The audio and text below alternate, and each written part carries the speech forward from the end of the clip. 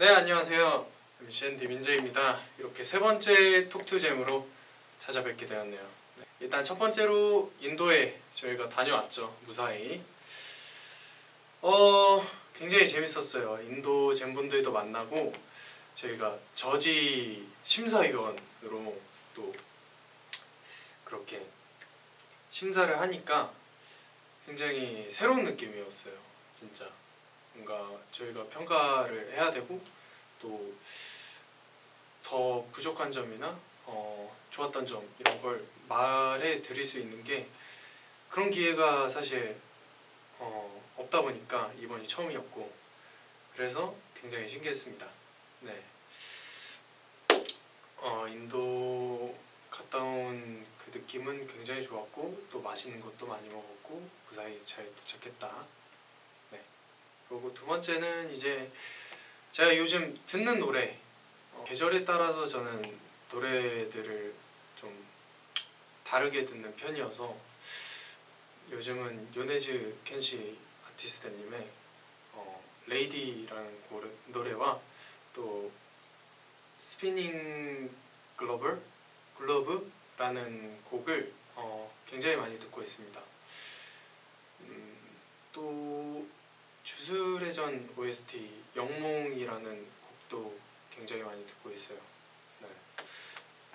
그 곡이 전하고자 하는 의미가 어, 그 아티스트가 전하고자 하는 의미인지는 잘 모르겠는데 저는 또 제 나름대로 해석을 해가지고 어, 전하고자 하는 그 메시지를 잘 들으면서 들으려고 하는 편입니다.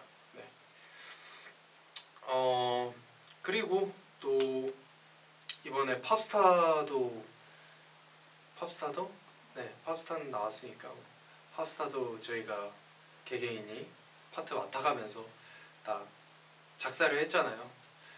그래서 요즘은 그런 것들 어, 작사에 대한 것들에 대한 생각이 좀 더 많아진 것 같아요. 또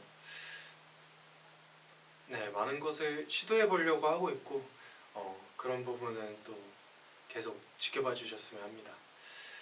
음, 이렇게 노래 추천도 어, 다 했고 또 저희가 이제 드디어 올해 말에 컴백을 하잖아요. 이게 나오면 아마 곧 머지않아 컴백을 하게 될 텐데 아, 네. 정말 일단 기대가 너무 되고요. 어, 1년 만에 다시 오르는 무대는 어떤 느낌일까? 라는 게, 어, 제 이번 컴백을 하면서 가장 많이 든 의문이 아닐까 싶고요. 또, 녹슬진 않았을까? 얼마나 성장했을까? 이런 고민들을 정말 많이 하고 있습니다. 어, 젠분들한테 또 여러분들께 기대 부응을 해야 되기 때문에 정말 열심히 연습할 거고요.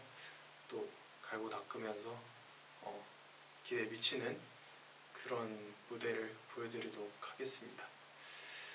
음, 네, 어, 컴백을 하면서 재밌는 일도 있고 어, 좋은 일도 있고 신나는 일도 있겠죠. 벌써부터 기대가 되네요. 네.